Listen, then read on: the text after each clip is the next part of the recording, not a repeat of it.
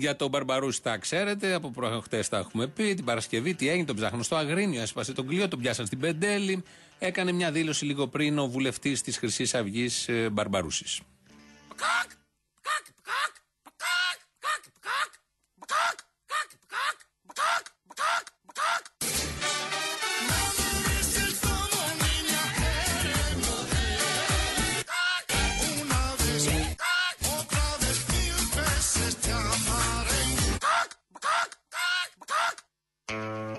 Αυτό το τελευταίο όλοι το καταλάβατε. Ε, κότα τιμή Χρυσή Αυγή ήταν το σύνθημα, το φώναξε βγαίνοντας.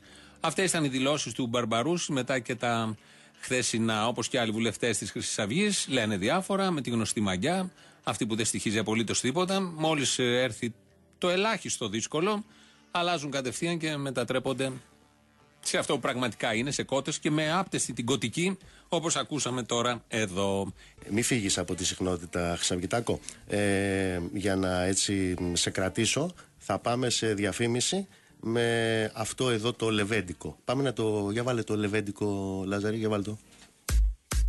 Καλό την ηγεσία της χώρας, να, την στρατιωτική ηγεσία της χώρας να σεβαστεί τον όρκο της. Να συλλάβει τον Πρωθυπουργό Αλέξη Τσίπρα τον Πάνο Καμένο και τον Προκόπη Παυλόπουλο για να αποτροπεί αυτή η προδοσία. Τα κεφάλια σας στις πρέστες. Τα κεφάλια σας στις πρέστες.